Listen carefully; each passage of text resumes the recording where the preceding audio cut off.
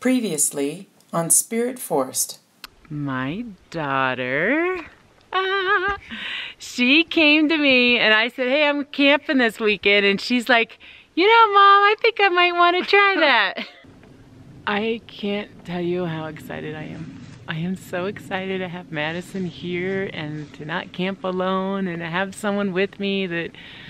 Ah, so a bear did try to get into it last year, at the end of last year. It's a lot warmer than I'm used to here, so this feels really good. Madison, is it warm? Freezing.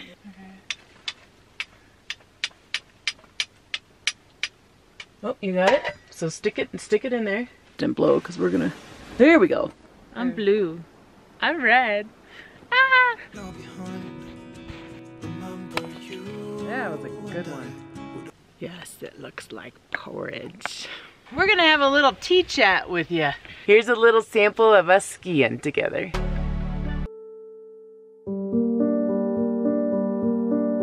And then Madison will be doing a, um, a challenge. I'm not gonna tell you what it is yet, but it's a good one. So that video will be posting next on part two.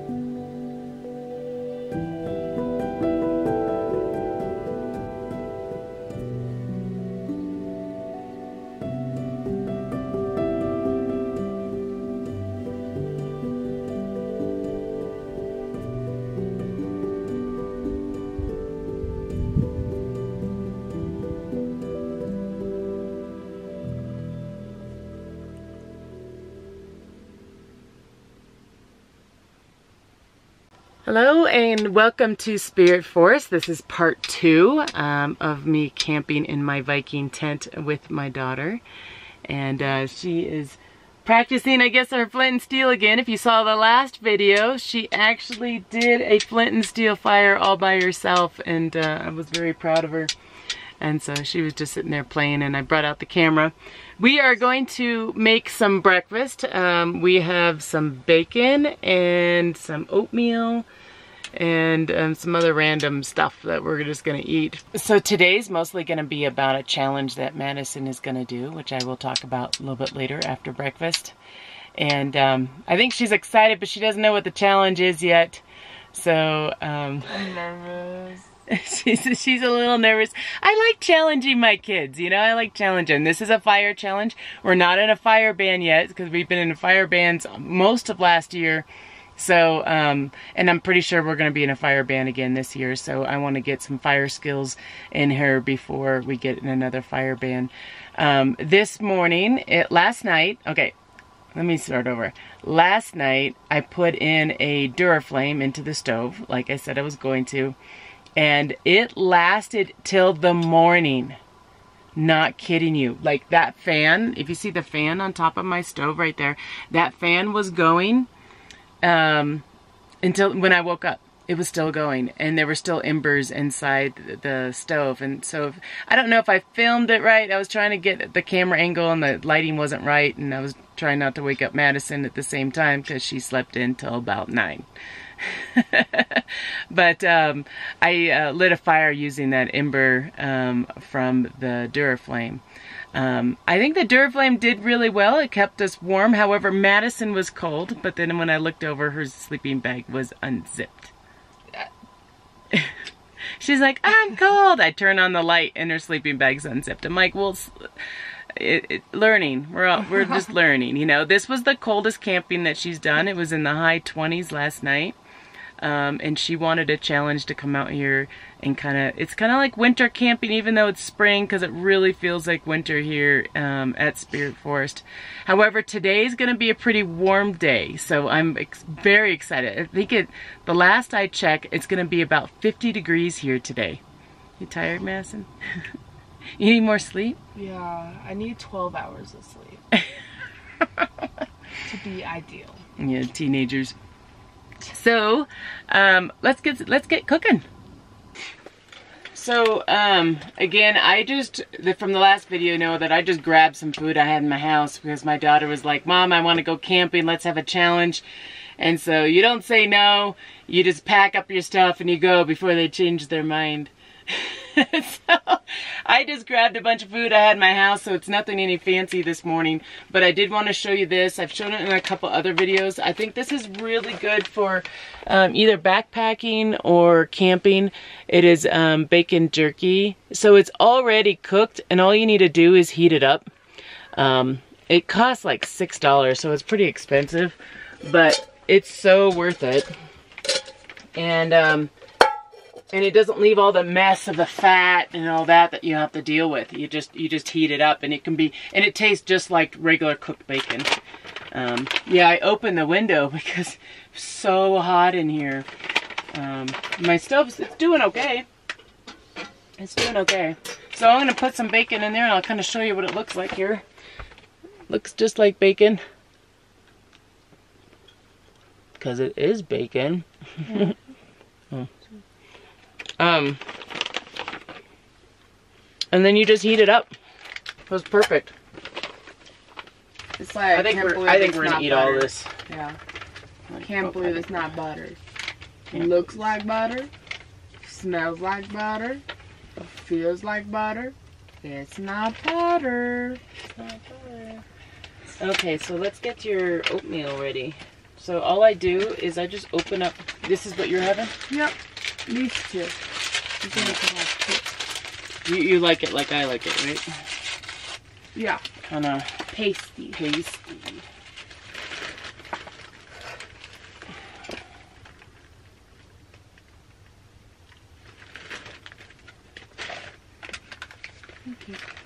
Oh, wow.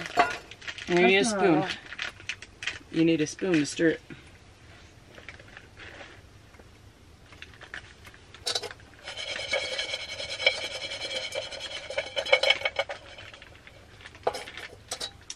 It smells like bacon. There you The go. bacon. I love it. So Madison wanted to cook in a tent um, because she's never been able to cook in a tent before because of bears. Now it is bear season right now. Um, however, we're packing this all up, so it doesn't matter if we're cooking in here, we're cooking right out there. We're packing it all up and we're leaving. So um, I told her, yeah, we'll cook in the tent today. Yeah, so, but if we were to leave this tent up, or if I were to leave this stove um, set up and stuff, I, I probably wouldn't be um, cooking in. I know I wouldn't be cooking in the tent because that smell of bacon's gonna be, you know, in the in the fabric and stuff like that. And those, I'm sure, um, I'm sure that those bears love the bacon.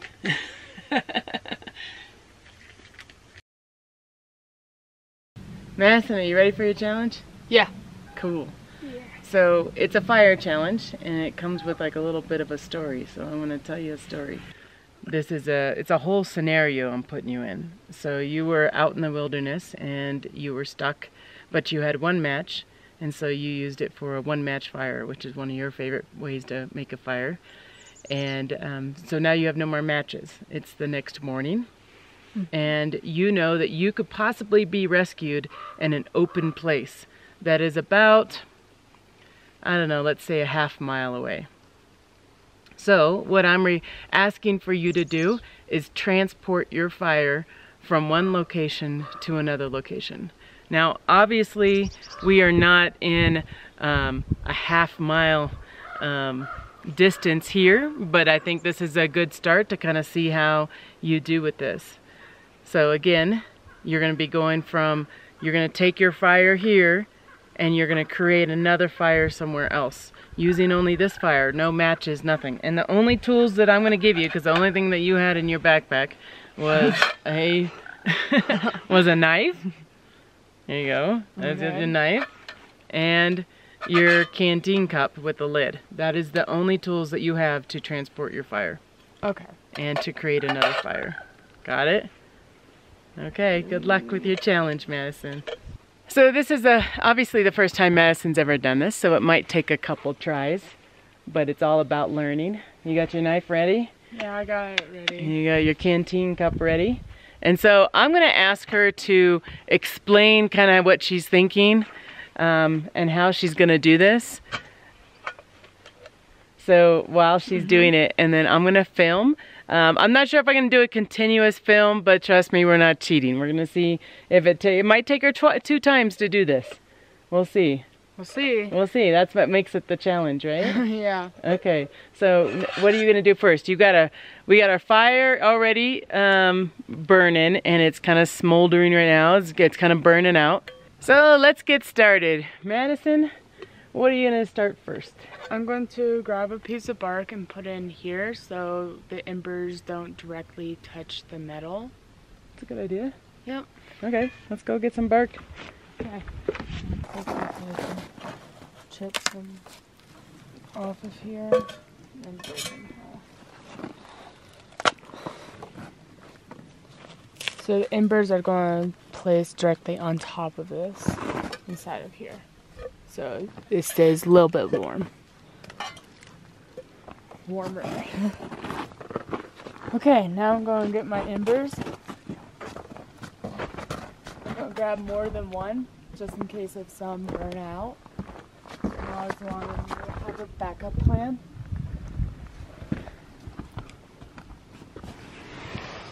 See if I can drag it in here.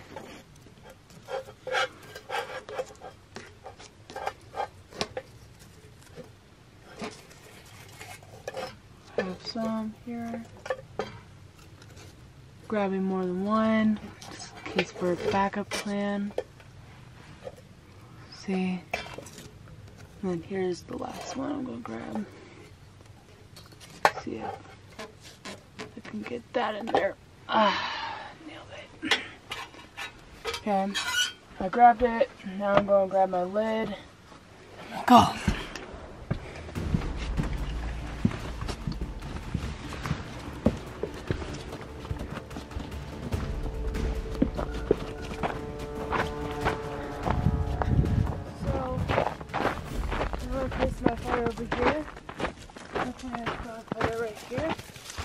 The lid cracking on it.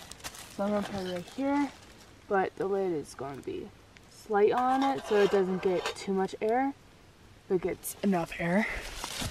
So now I'm going to grab a bunch of sticks. I'm just going to snap. And they have to be above the ground just to make sure they're dry.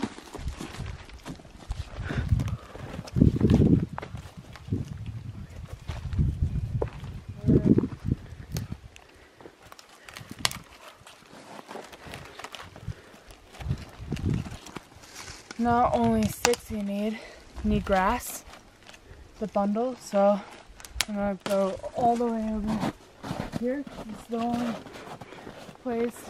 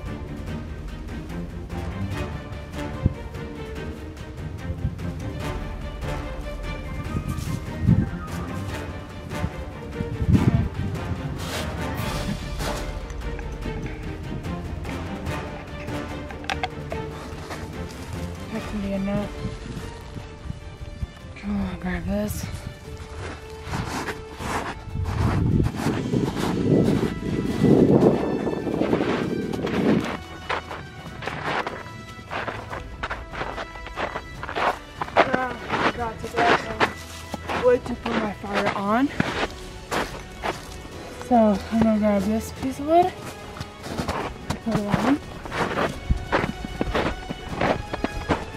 Yeah. This is where I'm going put my items uh, get a little bit flat here.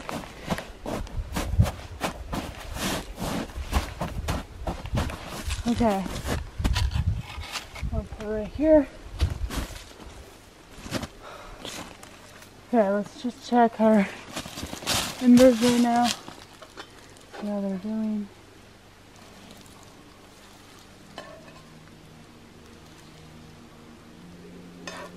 Some of them are still alive. So, right now, I'm going to make the, I'm to fold the grass and like kind of brush it together to make the fibers thinner so it's easier to light. And while the fire is going, I'm going to grab more sticks that's nearby. Now that I have the bundle ready, I'm going to work on my one match setup. And there's some more sticks over here.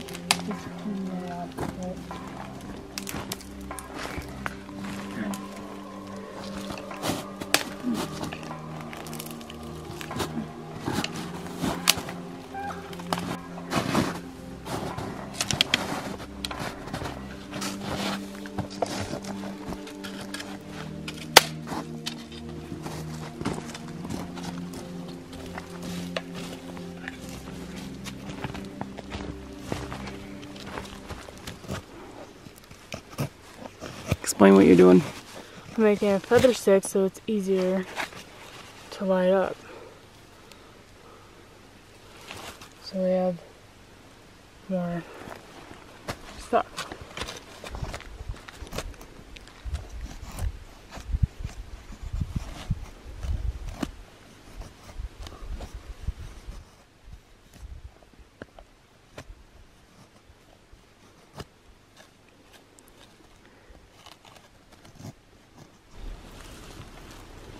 So I have some feathers on my feather stick and I'm going to put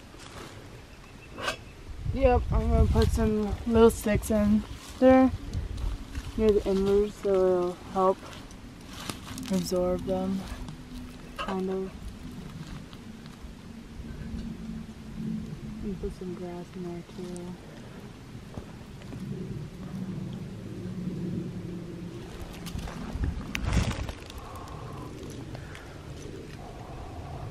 Yeah, the biggest one I have still has embers on it.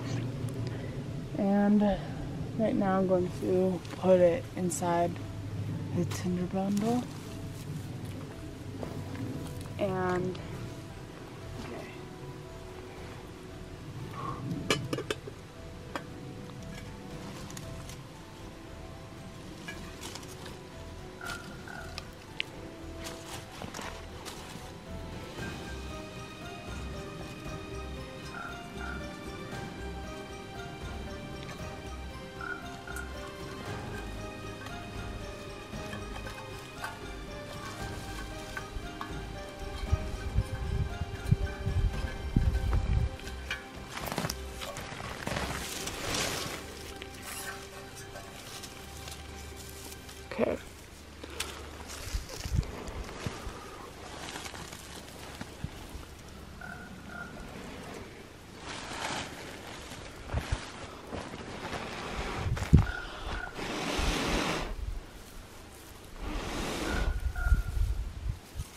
I should have grabbed more grass. I noticed.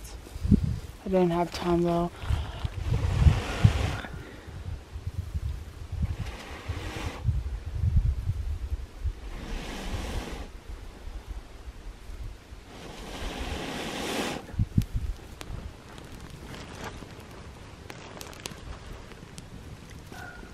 see if we can have some.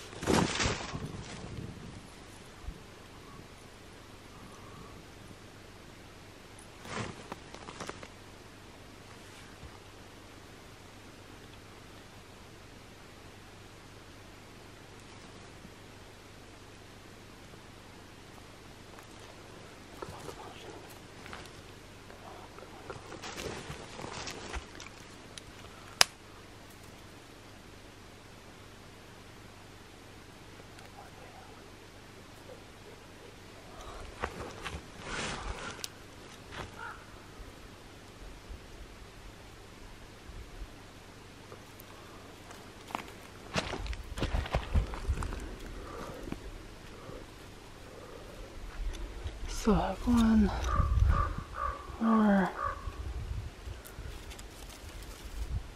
And done. So for round two, what would you change? Bigger tinder bundle, more sticks. More sticks? Maybe closer together too. Yeah. Yep. Yeah. Okay, let's try for round two. Okay. This time I'm going to grab bigger embers because I knew that the bigger embers last longer. So, going to grab this one, grab this one, and grab this one back here.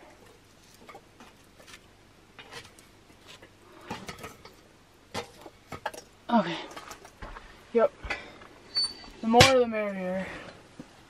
Now I'm gonna grab my lid, crack it open. So I'm gonna leave my fire here. Embers here. Crack it open. So now I need to be quicker.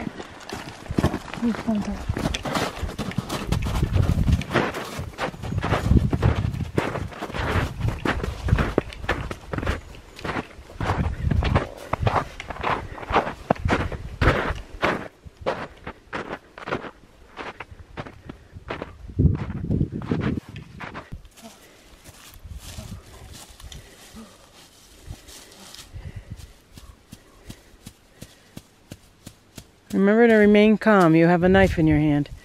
Remain calm. It's okay.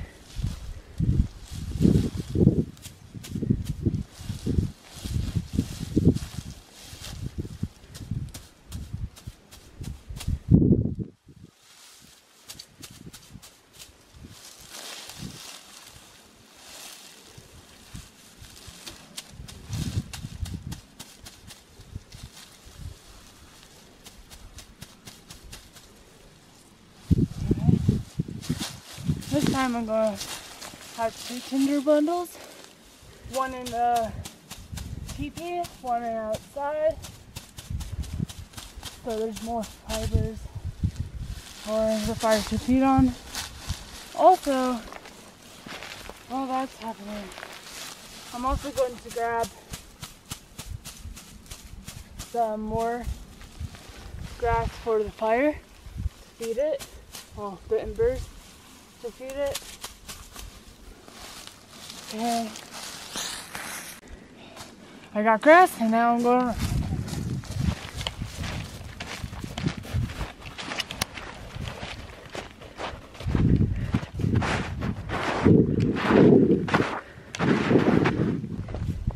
put my embers in a dryish spot. Now I'm gonna feed my fire. Smoking there. Let's see if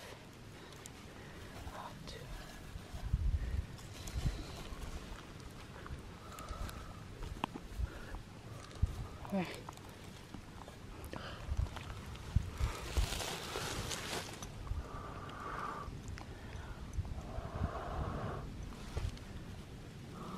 Maybe that's too much grass. Yeah.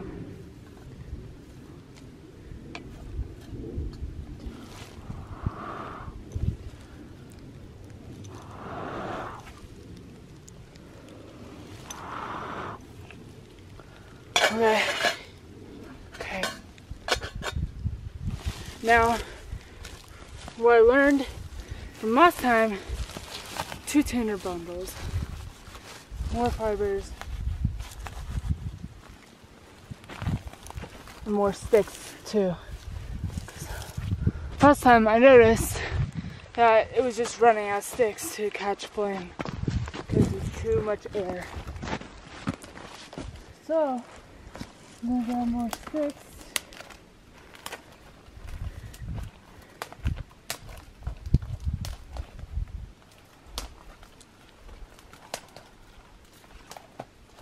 Oh, that one. Okay. Yeah. From small to biggest ones to fours. Well, not really fours, but yeah. Alright. So, let's be more.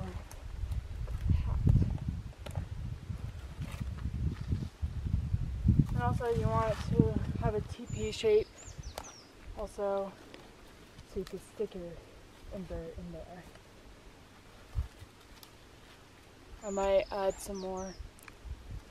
So I kept some grass out just to feed it, just in case if it needs more. So making the fibers very thin. Because when I blew on it, I also noticed that the fibers weren't thin enough. So I'm gonna put in there, blow on it.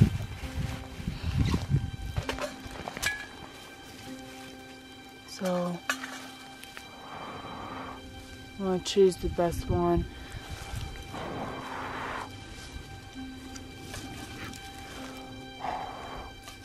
So this one has some flame to it. Yeah, it does. Let's see if this will work. Okay.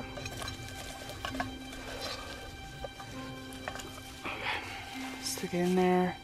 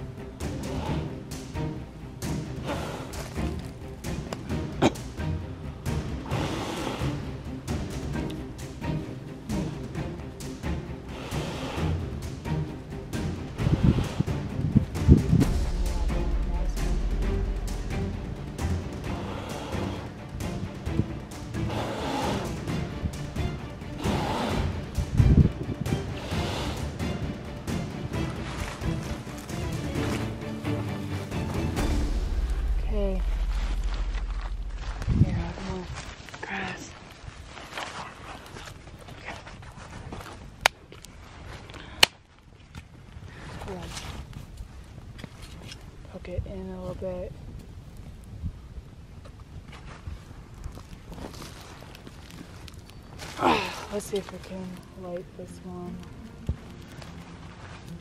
Let's see if I can break this one. I'm also going to use the burnouts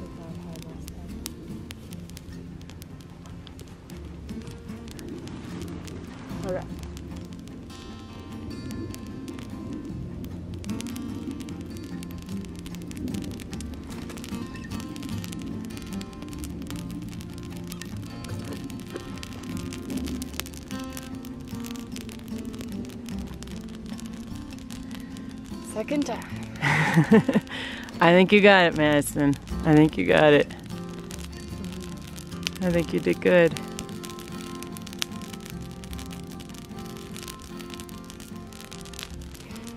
Well, so what did you learn from this one? My tinder bundle needs to be bigger Yep. and I need to add more sticks to be more compact. Yep. And I need to loosen the fibers a little bit more in the tinder bundle. Because Yeah. I, it took a couple blows to make it light. And, and sometimes with more of a steady blow rather than really hard ones like the ones you were doing, because that's going to wear you out, mm-hmm. the more steady blow works really well too. I mean, obviously you got it, so it worked. Yeah. Congratulations. Good job on your fire challenge, Madison. Thank you. That's a lot. you did good though. That was your first time trying to transport fire. And your first weekend of um, blowing a, uh, a, um, a ember into a flame. You've never done that before. So this was this is all new for you this weekend. Oh yeah. Yeah.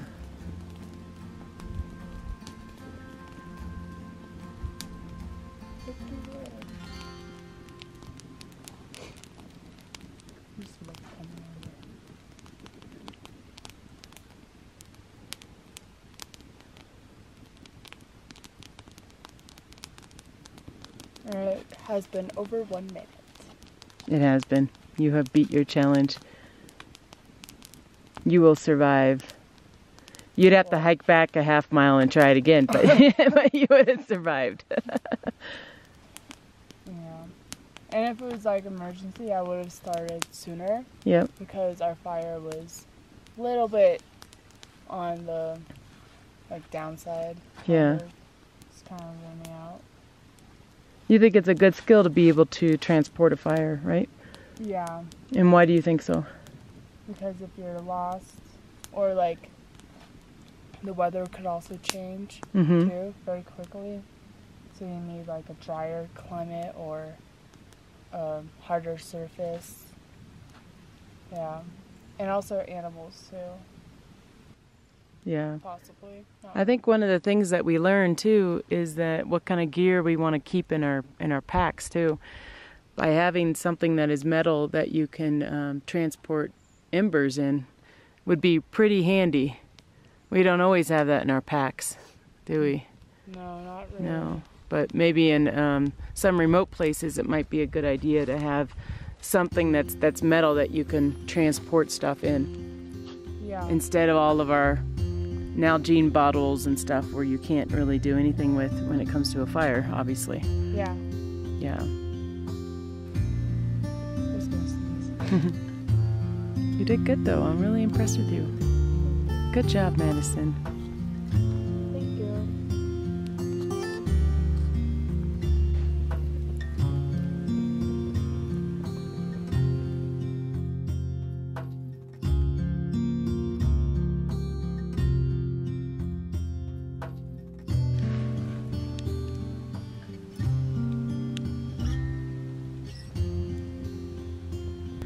Think Madison did really well. Really well. She's uh she's really proud of herself right now and I feel it's a life skill. Um, you know, and it, it takes more practice too. I mean, to get to go to like a half mile to a mile, you know, knowing to um, feed that canteen cup with um, some more twigs and sticks and stuff like that. Um, I gave her very little direction, and so she did very good.